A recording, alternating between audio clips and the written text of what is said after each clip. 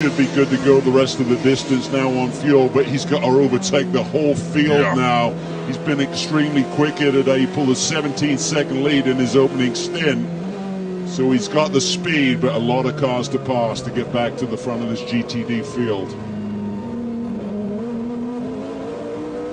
It's number 81 GB Motorsports machine, based not far from this racetrack.